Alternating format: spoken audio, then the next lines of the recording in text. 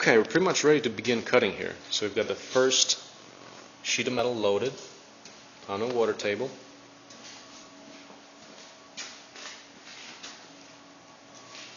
We've got Mach 3 here. That's our pattern from the file from SheetCam. Proprietary solution is optional. But let's do it. okay, Let's see. Where's our start point at? So we're going to start in the bottom left corner, which is where Let's see how we're right doing now. here.